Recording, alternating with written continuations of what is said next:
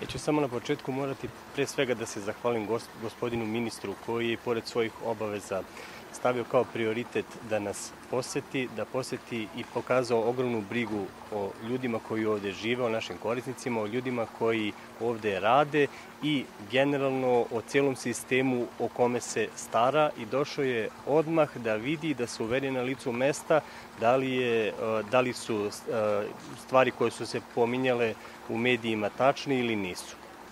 Želim reći da je u poslednjih poslednje tri godine je dosta toga urađeno u domu, kao što je ministar i rekao, no dosta je novca uloženo od strane resornog ministarstva, najviše od strane Ministarstva pravde kroz kroz uh, projekat uh, oportuniteta odlaganja krivičnog gonjenja. Od Ministarstva zdravlja smo dobili takođe jedno sanitetsko vozilo, što bi značilo da smo, ako da krenemo od voznog parka, potpuno zanovili vozni park. Imamo tri najmodernija sanitetska vozila.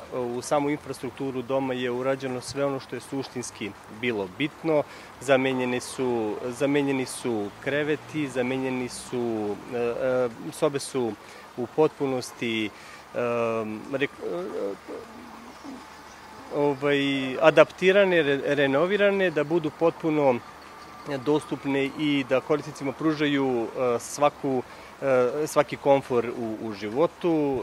Imamo krevete koji su namenjeni ležećim korisnicima, to su medicinski električni, mehaničke krevete, korisnicima koji više koje će koriste, koje koriste korisnici koji su dementni, da se i kreveti, kao koji je ministar rekao, su sa ivicama kao i sav nameštaj koji su oble, da ne može da dođe do samopovređivanja, da se smanji mogućnost samopovređivanja. Zamenjeni su toaleti, na taj način je komfor samih korisnika još podignut na viši nivo.